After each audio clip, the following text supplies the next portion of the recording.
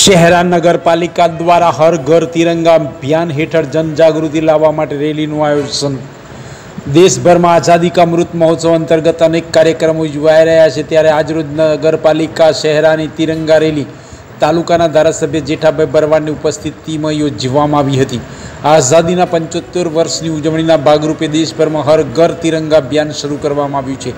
તેમજ લોકોમાં દેશપ્રેમની ભાવના સાથે સમગ્ર ભારતમાં હર ઘર તિરંગા લહેરાવવા માટે આહવાન કરવામાં આવી રહ્યું છે ત્યારે આજરોજ ભારતીય જનતા પાર્ટી શહેરના કાર્યકરો તિરંગા દ્વારા તિરંગા રેલી બેન્ડવાજા સાથે નગરપાલિકામાંથી નીકળી હતી જ્યાં હોળી ચકલા સિંધી બજાર થઈ અણિયાદ ચોકડી પર પહોંચી હતી આ રેલીમાં ગુજરાત વિધાનસભાના ઉપાધ્યક્ષ અને શહેરા તાલુકાના ધારાસભ્ય જેઠાભાઈ ભરવાડ તેમજ ભારતીય જનતા પાર્ટીના જિલ્લા પ્રમુખ અશ્વિનભાઈ તાલુકા વિકાસ અધિકારી સરપંચો તેમજ ભારતીય જનતા પાર્ટીના કાર્યકરો મોટી સંખ્યામાં રેલીમાં જોડાયા હતા